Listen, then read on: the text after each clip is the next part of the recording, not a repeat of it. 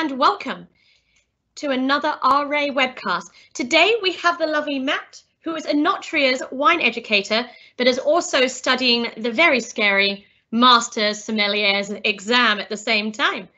Now, Matt, over to you. And what would I'd like to know is how did you get into the world of wine and what do you do over at Enotria? Um, first of all, thank you very much for having me here today. I'm absolutely thrilled to be a part of your um, weekly seminars. So how did I start my career in the wine? Well, uh, it all started five years ago when I moved uh, from Poland to UK. And my first job in London was in a restaurant in Richmond called the Dysart Petersham, which is a one Michelin star restaurant. And the owner of that place, Barney, was very much invested into the world of wine. And he was the very first person that actually introduced me to um, the beauty uh, and the intrigues of the wine industry. So we started initially from tasting several different wines in um, in a day after the service, before the service. And after a while, I took uh, my chances with level 2 WSET, which I passed, and I landed a job as a sommelier in a French restaurant called the 110 de Taillevent, so the 110 of Taillevent, which is a French concept. If you're familiar with the uh, movie Ratatouille, it's actually based on the history of the eponymous uh, Le Taillevent in Paris. So the owners um, of Le Taillevent were, let's say, the story was somehow inspired in Ratatouille by the actual story of that restaurant in Paris. So I spent there six months, and after that time, I was headhunted by Enotria to join their customer services team. And after further few years, I was asked if I would like to join the sales team. And in the meantime, there was an opportunity for me to take further WSET qualification. So I became an educator for WSET. And in the meantime, I thought it's just the right time to go back to the original beginnings of actually starting as a sommelier and started doing the Court of Master Sommelier path. So in 2018, I passed my introductory exam. In 2019, I passed the certified. And right now, I'm waiting for an invitation to take the advanced um, sommelier exam, hopefully next year. And then we'll see if I want, provided that I pass, then hopefully in the next two or three years, I'll be able to take my chances with the Master Sommelier exam. So yeah, it all started um, from the front of house position where I was just a simple waiter who got intrigued by the world of wine. And like most of the sommeliers out there, I saw a movie Somm, the documentary Somm, which completely intrigued me. And I thought, yeah, there's no way back from it. I need to take my chances and try to do it. So yeah, long story short. Awesome. Now, Matt, I know um, you know people say the word sommelier quite a lot around the the business, and you know a lot of people go, "Oh, that's quite a fancy word." Now, to you, what what does it mean to be a sommelier to to you? Because I know you can be a wine sommelier, but you can also be an olive oil, tea sommelier, etc. But for you, what do you feel the word means? I think the term sommelier um, is very confusing for a lot of us, and even sommeliers themselves struggle to define what a sommelier actually is because every single person out there will tell you different stories. There's people in the trade that will argue that a sommelier is only a wine person that is directly involved in the service of wine in the restaurant environment. So quite a lot of really influential sommeliers would argue this point of view. However, there's also a group of um, other actual sommeliers that would say that sommelier is not just someone who's involved in the service of wine, but also we can name it, we can call a, uh, a person that does buying or professional tasting or wine evaluation of any sorts.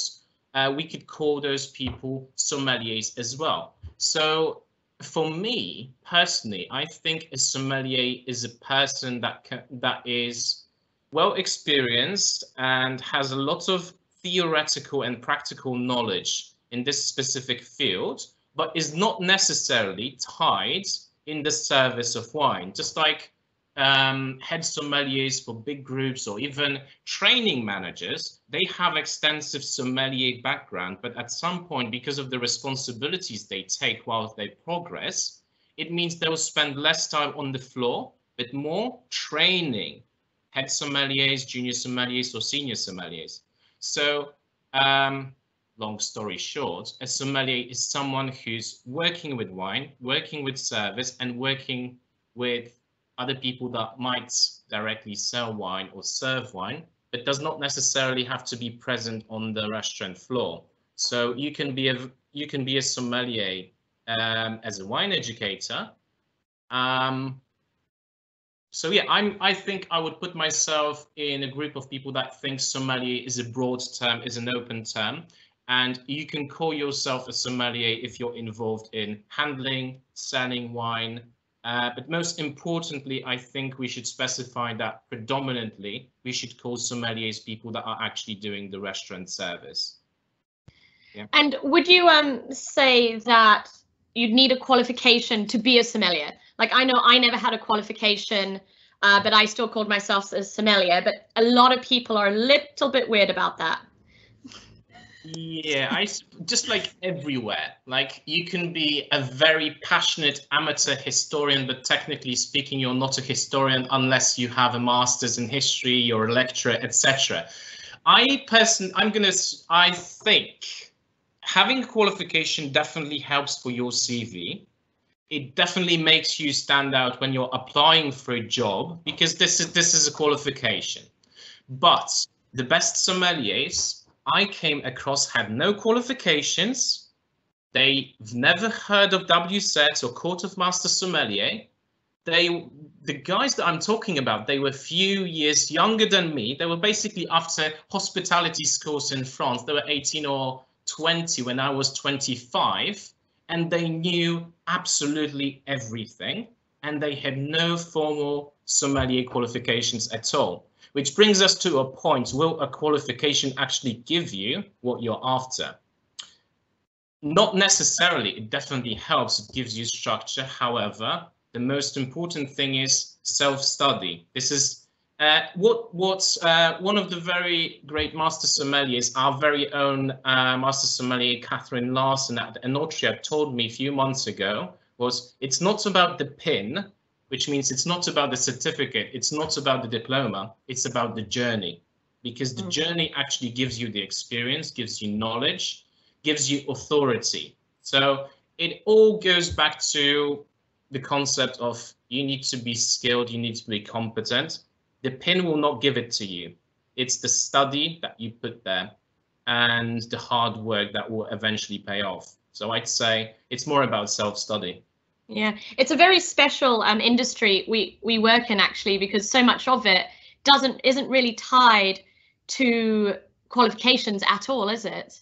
Mm-hmm. Wait, no, so it's really, I, really special. I completely agree. But hospitality is this beautiful industry where we find a variety of people. We we can find loads of uh, loads of um, managers or even sommeliers where this is not their first passion. They have sports background, they have acting background, they come from business schools, they come from acting schools, they've done humanities or maths. But what brings us together is the love of the product, the love of people, the actual uh, fact that we like being surrounded by different cultures, we like being surrounded by different people, original ideas, and that's what's really important. And I think that's the beauty and the very unique side of hospitality industry. And that's one of the reasons why why I suppose I forfeited my original plans to become a lecturer and got so invested into wine because at some point it's captivating, it's brilliant,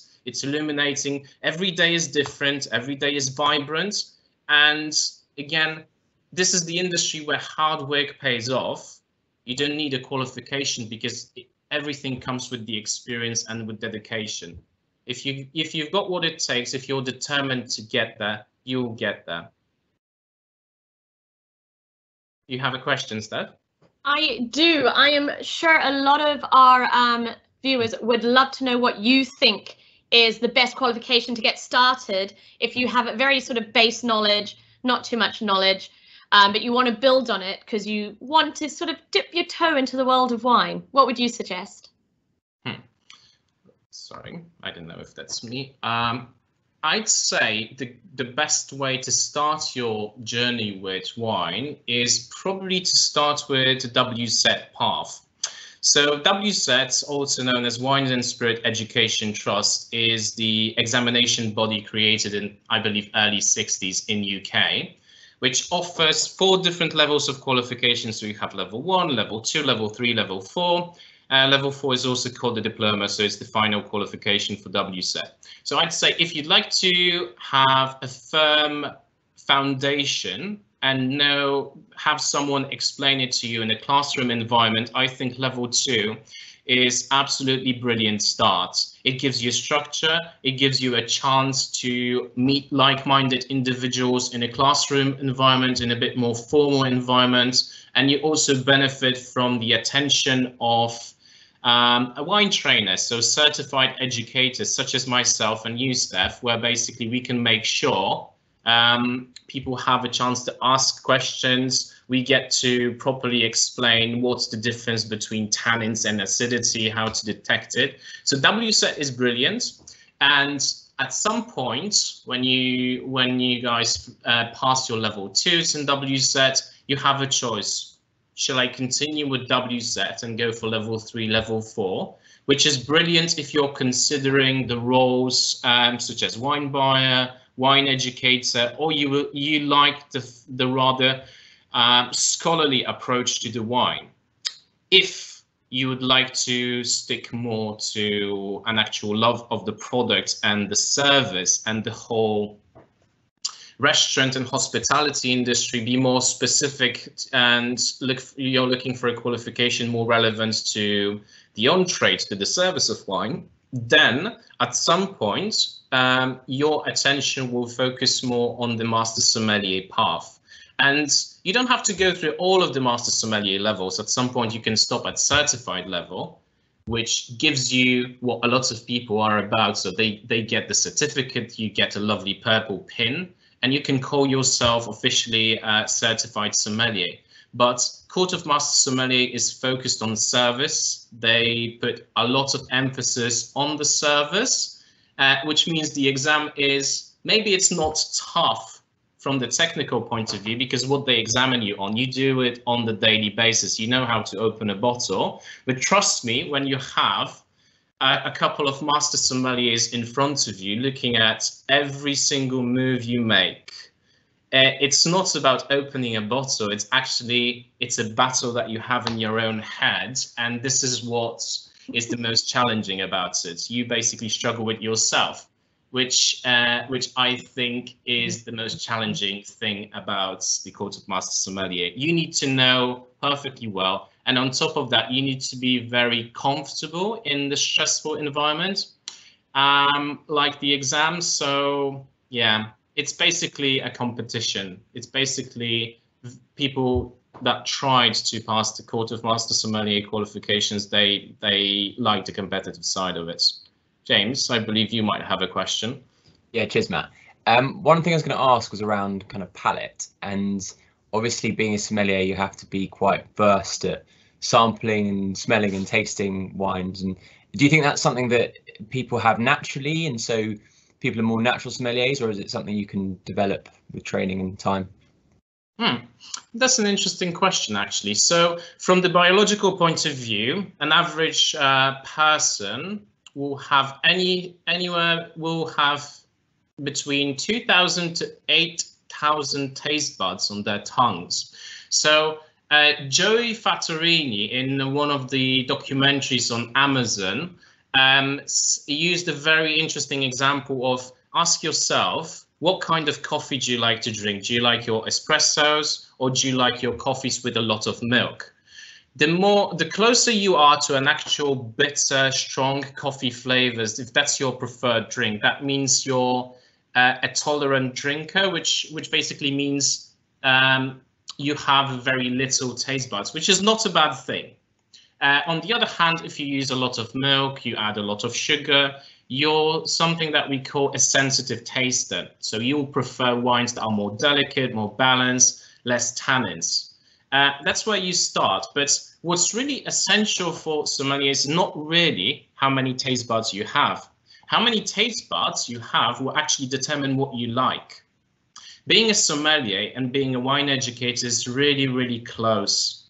You're about, you have to develop uh, an idea, an objective idea of wine, how a wine should taste like, what it should be coming from this specific region, why does it taste like it does, and based on that, you'll be able to evaluate the wines and be good at your job as a sommelier or wine educator or wine buyer. It's not necessarily about uh, give. You don't have to be born to become a great sommelier the best sommeliers I know, they're hardworking people that actually focus a lot on the theory because once you have a firm theory, pra uh, the practical side, the tasting becomes natural. You can identify the wines. Whilst if you don't have a theory, even if you have the best taste buds in the universe, you're not going to be able to tell. So I'd say it's all about theory, knowledge, and studies, not necessarily about being a gifted wine taster, but it definitely helps. So just following up on that point, I guess one of the hardest things must be, particularly in an environment which is kind of retail or, or on the floor, mm-hmm. if you're suggesting, you know, wine pairings or suggesting um, a wine for a customer when mm-hmm. presumably you haven't tried it before, right? Because there must be thousands of catalogs of even kind of grape varieties which you probably have very little exposure to. So how how do you handle that? How do you deal with that? And how, hmm. how much of it is is blagging? Okay. I guess. um, um, okay, so in the ideal world, uh, we would like our sommeliers to know um, every single wine on the wine list, have a chance to try it. That's one of the reasons why in the restaurants, a sommelier offers to try the wine for a guest to make sure that it's not faulty. So it's not just it's not it's not just a cheeky way to ask a customer, a guest, for a permission to drink his wine. It's actually part of the service. You know, a lot of uh, wine serving individuals feel bad about suggesting it, but actually, from the service point of view and the proper customer service experience, why would you ask a guest to try a wine if there's a possibility it's faulty? If it's faulty, it is your job to actually spot it and suggest, sorry, I, I have to apologize. I have to grab another bottle. This one is faulty. If you'd like to try it, you can always try it, but I would rather give you a new bottle, which will hopefully don't have this taint, cork taint or TCA, etc. So there's plenty of chances to do it and incorporate it in the service. However, let's face it, there's millions millions of different wines, tens of thousands of different wines from very small regions as well. They will all be slightly different. So part of the that's where the theory is so important because once you try a very well-made wine from a specific region, let's say Chambolle Musigny, you have an idea of how this wine should taste like. And then you know what to expect in general. Um, so you can say these wines in general taste like this, taste like that. If you've tried this particular producer, particular vintage, you can you can be more personal, more specific. But most of the guests don't require that level of precise information. Our role as sommeliers or even salespeople is not about bombarding um, a different another person with info that would take hours or ages. Trust me, if you ask a sommelier a question about wine that he loves, he can keep going and going and going and he will never stop. It's about being concise, precise, and making sure they the guest understands. Caroline? Hi, Matt. And um, we've got a question here from Anonymous. What is the ultimate wine accolade Education, competitions, or experience? Which is more important? Hmm. I think it's um, like we said at the beginning, it's not necessarily about the qualifications or the titles. This is something that puts you on the map, is an addition to your CV. But uh, obviously, it is also a great experience and the learning curve. So um, the most important qualifications that you can look for are WSET and Court of Master Sommelier, and the Association of some International Sommeliers called ASI. There's also um, the organization called the Chain, Chain of Rotisseurs. Forgive, forgive my French pronunciation. I really don't know how to pronounce that in French properly. However, they organized the UK Sommelier of the Year competition for young sommeliers. So um, there's qualifications and there's competitions. Normally you do qualifications to compete, to have better chances, be better prepared. However, uh, from the competition side, you have the UK Sommelier of the Year. This year it's sponsored by uh, Champagne Taittinger, which will take place in November. Normally, it would take place in early spring, uh, um, early spring until uh, late June, July. However, because of the COVID, that had to be rescheduled. So um, that's UK Sommelier of the Year. UK Sommelier um, of the world, obviously European Championship, there's country championships, etc. There's champagne competitions, so there's loads. I'd say competitions are not necessarily some. One of my one of my colleagues, one of the one of the two Polish master sommeliers, told me that competitions are not necessarily about how good you are at service. It's about showing off, and it's like being on the stage where you're showing you're in a way slightly exaggerating it mm-hmm. just to make it seem more charming, more appealing, where basically it's built this way so you can show off how confident you are, how how you can explain something that is extremely challenging in a very few words, but also make it entertaining, set up the standards, like bring ideas and genuinely intrigue people. It's a bit like MasterChef formula. It's, it's a bit like that. And I, I, I, guess that that's where that um you know back theatre background really comes in handy.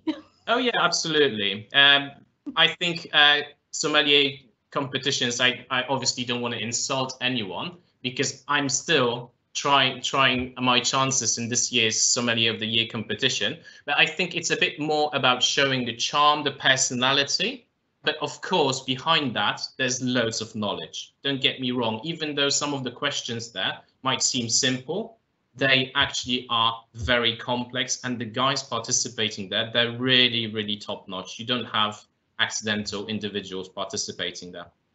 James? Uh, I was just going to say, Matt, there's been a lot of press, obviously, recently um, around how particularly high-end restaurants and um, fine dining restaurants are going to have to change to become more competitive in the kind of the new world, particularly while we kind of see off the end of, of COVID and you know wait for a, hopefully a, a vaccine to hit. A lot of what's happening in terms of um, wine lists is that they're going to be reduced. So that's what the kind of the information that's being kind of put out there is that wine lists are going to be hugely reduced and kind of how that will impact the role of a sommelier in a restaurant and how you think that kind of role will develop now in the kind of the new normal?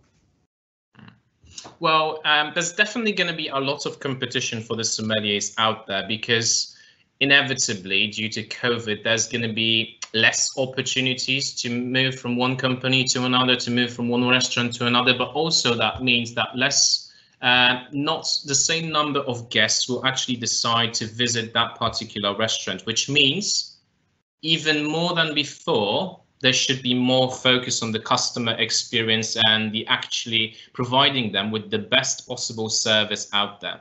Now, the best possible service is not necessarily about, you know, dancing a ballet with a bottle of wine in front of the guest. It's actually about finding the right balance and making them comfortable. So sometimes you don't have to show off the knowledge, which is the biggest sin for most of the sommeliers I came across where basically they think the moment they get a question, they have to, you know, say Oxford Companion of Wine that says this about this particular producer. However, there's, you know, the Decanter, Wine Spectator, etc., saying this and that. Half an hour later, we still don't have a wine. It's about reading a guest and making sure you offer them what's going to make make them feel comfortable. So for that, I think we should focus more on our people skills and trying to make the guests feel as comfortable as possible, not necessarily about showing off. However, it is important.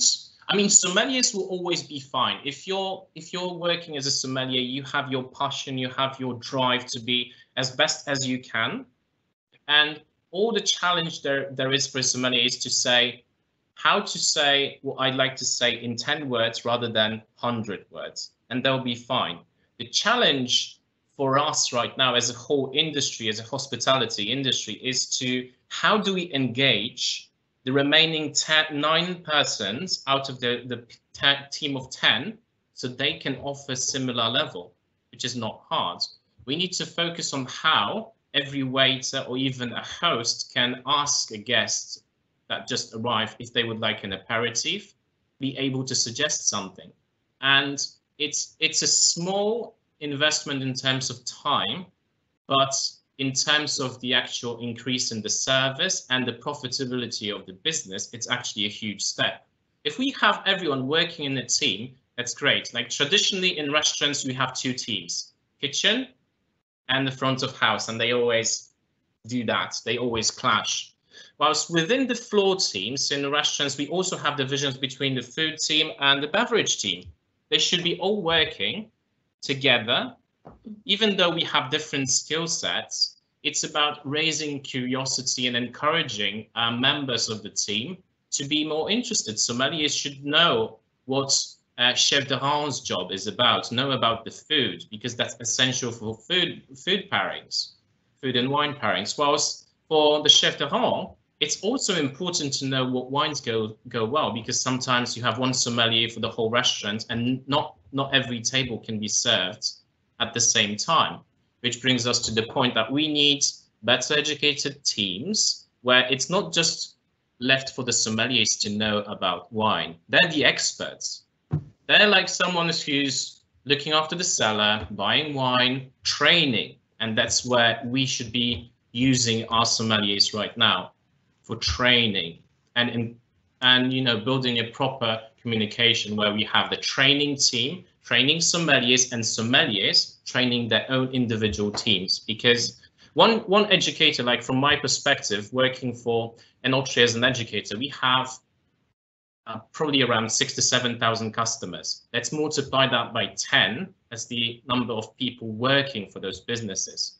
If i know one percent of that group it's already huge but they know the other percent and they can make sure that the difference, the lessons that we're teaching that 1% go a bit further. Yes, James. I was just gonna, I know we're running out of time and um, Steph is gesturing in the background, but um, if you had to have one last glass of wine before you die, what would it be and why? You, you might, you might, you might think I would go for something um, crazy expensive or something very quirky, but I would just grab a glass of wine that would be closest to to my left hand, and I would just gladly have it because wine and enjoying wine is not about price tag. It's not necessarily about the region. It's about who you're drinking it with. So, so to answer to your question, I would be happy to drink whatever glass of wine you would all you would give me or that would be next to me as long as I can have it with my closest friends and I would be more than happy with that. Nice. Oh, that's so great. Well, thank you so much, Matt, for for popping on with us today. Absolutely fascinating and a little bit of a taster into the world of sommeliers and and what we do. Um, so thank you very much, and I hope you will all join us next time Meanwhile, for more information about our program of discussions, please go to RA Group's website at www.ragroup.co.uk forward slash news to download the broadcast links. Meanwhile, if you have any questions or suggestions about how you can get involved, please do email gavin.goody at ragroup.co.uk. Well, thank you all for joining us today. Have a fantastic afternoon, and we will see you tomorrow, same time, same place.